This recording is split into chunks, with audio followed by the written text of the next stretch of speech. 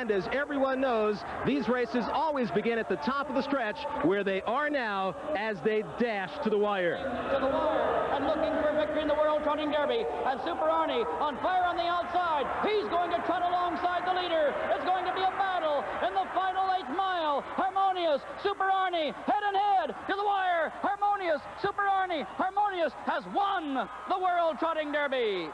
Cat Manzi, the driver today, ladies and gentlemen, winner of the 1990 World Trotting Derby. Here's Harmonious. Yeah, After this race, Harmonious just has just shown that he's just a little bit better than the rest of the class.